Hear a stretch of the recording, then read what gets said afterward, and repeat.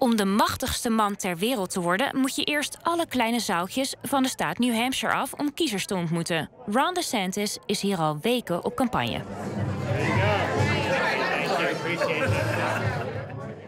De gouverneur van Florida heeft het imago niet zo sympathiek en soepel te zijn met de kiezers.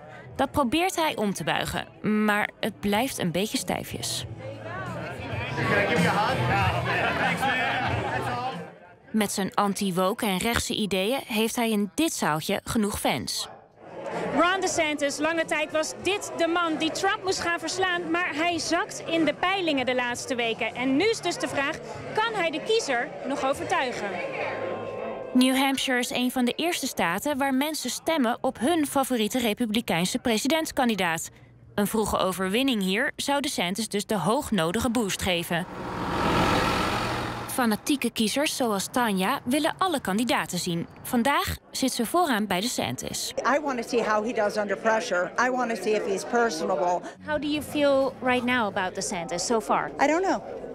I don't know. I know that I liked him as a governor. I think he's fallen behind. I think Trump is still is still number one. Hello, Newport, New Hampshire. Kiezers stellen DeSantis vragen.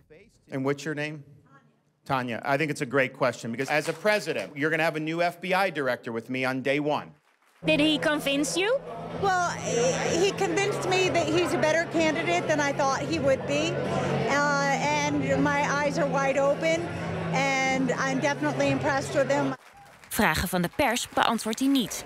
Governor, governor, can you win?